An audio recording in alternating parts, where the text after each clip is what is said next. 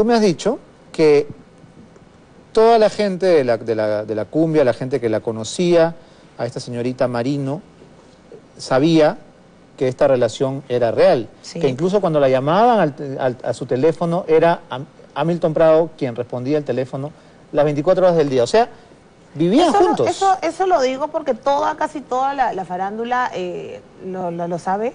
Él contestaba el teléfono de ella. Ahora, eh, él prácticamente él vivía en la casa de ella, que, que según tengo entendidos, él le alquiló a ella. ¿Cuánto tiempo Olivos, vivieron juntos? En Los Olivos, en la avenida Carlos Izaguirre. ¿Cómo no? No lo voy a saber. ¿Tú has eh, estado ahí? No, Pues- yo no estaba ahí, pero, no, pero te es sabes la dirección. porque vamos eh, casualmente al mismo spa. Ajá. Entonces tú sabes que en el spa todo se habla. Sí, seguro.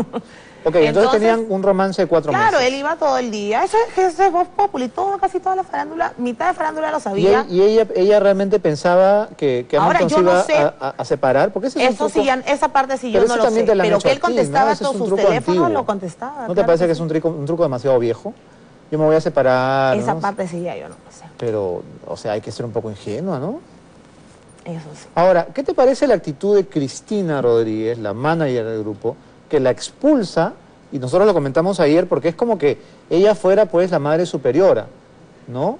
O sea, ella, ella se, se ha afectado mucho moralmente, su susceptibilidad religiosa se ha visto eh, herida, ¿no? Por, esta, por este romance extramatrimonial, ¿no? Y entonces la expulsa.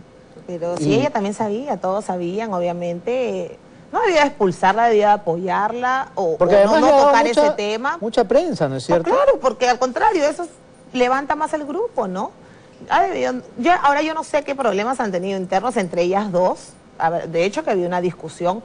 El motivo, habrá- que dicen que, que supuestamente ella, es- Cristina es la que ha hablado, ha pasado el dato, supuestamente, ¿no?